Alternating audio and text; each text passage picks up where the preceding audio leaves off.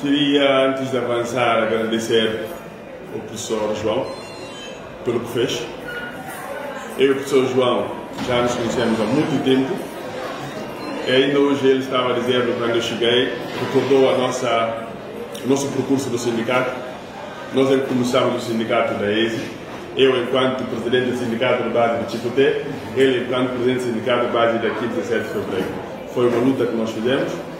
Acho que, independentemente dessa, dessa circunstância, a nossa relação continua a ser a mesma. Isto aqui é uma corrida de estafeta. Alguém corre até um determinado ponto, um vem e continua a, a corrida. Então pode estar seguro de que eu não vim aqui para tentar mostrar o que, é que o professor João fez de mal ou de bem, mas eu vim aqui para dar continuidade a tudo aquilo que possa ser bem para, para, para, para essa escola.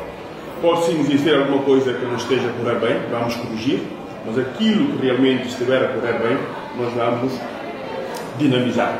Então, não estou aqui para policiar ou para ir ver o que é que fez e o que é que não fez. Eu estou aqui e espero ter a vossa colaboração.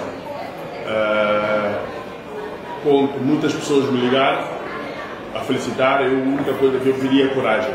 É melhor dizer-me coragem, no final nós vamos fazer as contas, aí vamos ver se vale a pena parabenizar ou não. Uh, quero contar com toda a gente, contar com toda a gente, porque eu sozinho não conseguirei nada.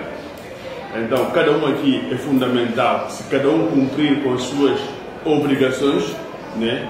se cada um sugerir alguma coisa ao diretor, nós poderemos realmente eh, fazer essa casa andar ainda mais com mais, com mais dinâmica, com mais força, eh, continuando os trabalhos que estão a ser feitos.